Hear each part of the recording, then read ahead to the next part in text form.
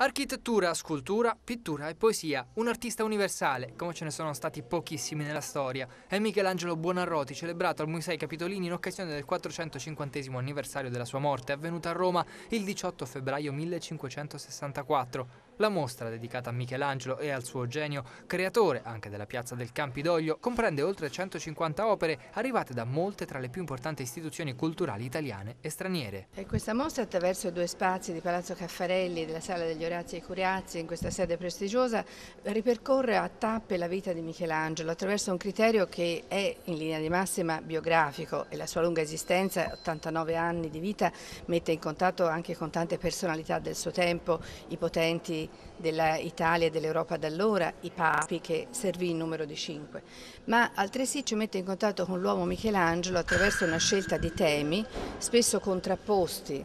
la vita e la morte, il corpo e l'anima, l'amore carnale l'amore spirituale, la notte e il giorno, temi che hanno avuto in lui risonanze profonde, che lo hanno eh, condotto in, in, tarda età ad una profonda riflessione di natura spirituale e religiosa e che attraverso le opere si sono manifestate con straordinaria potenza. Ci sono straordinari disegni che abbiamo riunito intorno a questi temi. Le opere originali forse più straordinarie vengono da Firenze, una della Casa Bonarroti ed è la giovanile Madonna della Scala, che Michelangelo sotto l'egida di Lorenzo il Magnifico scolpì a 15 anni nel 1490 circa